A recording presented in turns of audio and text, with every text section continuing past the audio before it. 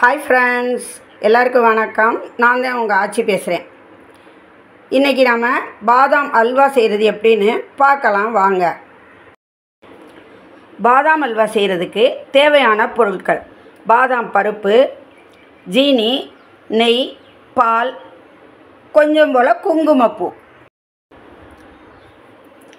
பாதாம் பருப்பு ரெண்டு கப் எடுத்திருக்கேன் நான். ரெண்டு கப்புக்கு ரெண்டு கப்பு ஜீனி ஒன்றரை கப்பு நெய் ஒன்றரை கப்பு பால். அதாவது ஒன்றுக்கு முக்கால். நெய்யும் பாலும் ஒன்றுக்கு முக்கால். ஜீனி வந்து ஒன்றுக்கு ஒன்று சம பங்கு. எந்த கப்பால் எடுக்கிறோமோ அதே கப்பால் அளந்து எடுத்துக்கோங்க.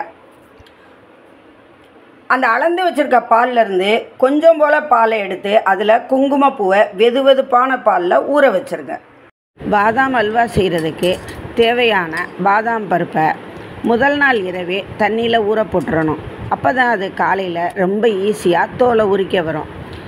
அப்படி இல்லைன்னா ஒரு அரை மணி நேரம் முன்னாடி வெந்நீரில் ஊற போட்டால் தோல் ஈஸியாக எடுக்க வந்துடும் நம்ம எடுத்து வச்சுருக்க குங்குமப்பூவையும் அந்த பால்ல இருந்தே கொஞ்சம் எடுத்து ஊற போட்டு ரெடியாக வச்சுக்கணும். இருக்கிற பால்லருந்து கொஞ்சமாக ஊற்றி அரைச்சிக்கலாம். ரொம்ப மையாக அரைப்படக்கூடாது இந்த மாதிரி லைட்டாக குறகுறப்பாக இருக்கணும். ரொம்ப குறகுறப்பாகவும் இருந்துடக்கூடாது இப்போ அடுப்பை மூட்டி அடிக்கணமாக ஒரு பாத்திரத்தை வச்சுக்கணும். கொஞ்சமாக இருந்தால் நான்ஸ்டிக் போதும். நான் இது கொஞ்சம் அதிகமாக இருக்கிறனால ப்ரெஷர் பேன் எடுத்திருக்கேன். இதில் வந்து இந்த மீதம் இருக்கிற பாலை ஊற்றிடணும் பாலோட இந்த நம்ம அரைச்சி வச்ச பாதாம் விழுதையும் அதோட சேர்த்துக்கணும். விழுது வந்து இப்படி கரண்டியில் அள்ள வர்ற மாதிரி இருக்கணும். தொட தொட தண்ணியாக இருக்கக்கூடாது. எடுத்தால் எடுக்க வர மாதிரி இருக்கணும்.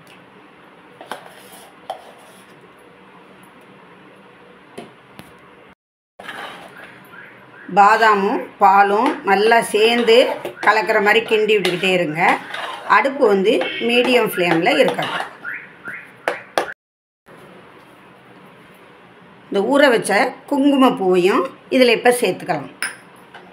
சேர்த்து நல்லா சேர்த்து கிண்டணும்.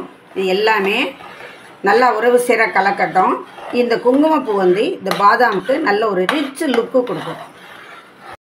நம்ம அரைச்ச பாதாம் இந்த பாலோட கலந்து நல்லா வெந்து பச்சை வாசனை போகணும். இப்போ ஓரளவு வெந்துருச்சு. இப்போ நம்ம எடுத்து வச்சுருக்க நெய்யிலேருந்து ஒரு ஸ்பூன் போட்டுக்குவோம். மொத்தமாக நெய்யை ஊற்றாமல் கொஞ்சம் கொஞ்சமாக போட்டு கிண்டிக்கலாம். இப்போ நாம் அளந்து வச்சுருக்கிற ஜீனியை இதில் சேர்த்துக்கின்றலாம்.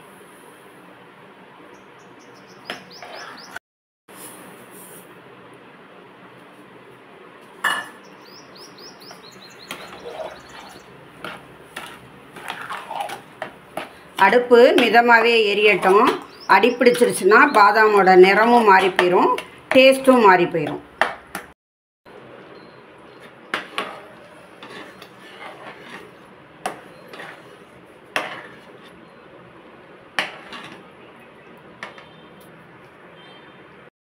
எரிக்கிட்டு வருது. ஊற்றின நெய் பூரா உள் வாங்கிருச்சு.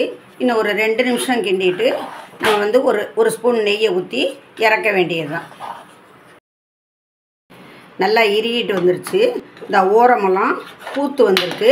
இப்போ நம்ம அடுப்பை ஆஃப் பண்ணிடலாம். ஆஃப் பண்ணிவிட்டு நம்ம எடுத்து வச்சுருக்கிற பாக்கி நெய்யெல்லாம் அதில் ஊற்றிடலாம்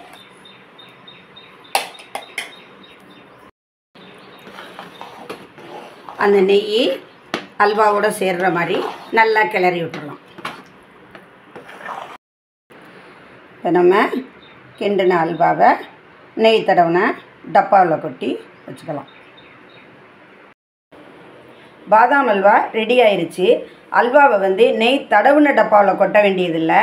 நான் வந்து இந்த கிண்ணத்தில் நெய் எடுத்து வச்சுருந்தேன் அல்வா கிண்டுறதுக்காக. அந்த டப்பாவில் கொட்டினேன். அதை நெய் தடவுன டப்பான்னு சொல்லிவிட்டேன். அதனால் நெய் இருந்த டப்பாவில் தான் நான் கொட்டியிருக்கிறேன். இதை நம்ம எதில் வேணாலும் ஸ்டோர் பண்ணிக்கலாம்.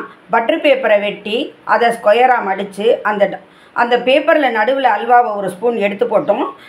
நம்ம வந்து அதை பேக் பண்ணியும் வச்சுக்கலாம். சும்மா டப்பாவில் வச்சு ஸ்பூனாலேயும் எடுத்து சாப்பிடலாம். நீங்களும் இதே மாதிரி உங்கள் வீட்டில் பாதாம் அல்வா செஞ்சு பாருங்கள் செஞ்சு பார்த்துட்டு எப்படி இருந்துச்சுன்னு கமெண்ட்டில் சொல்லுங்கள் இந்த வீடியோ பிடிச்சிருந்தா லைக் பண்ணுங்கள் கமெண்ட் பண்ணுங்கள் உங்கள் ஃப்ரெண்ட்ஸுக்கு ஷேர் பண்ணுங்கள் இதுவரை சப்ஸ்கிரைப் பண்ணாதவங்க மட்டும் மறக்காமல் எங்கள் சேனலை சப்ஸ்கிரைப் பண்ணுங்கள் அடுத்து ஒரு புது வீடியோவில் உங்களையெல்லாம் சந்திக்கிறேன். Thank you friends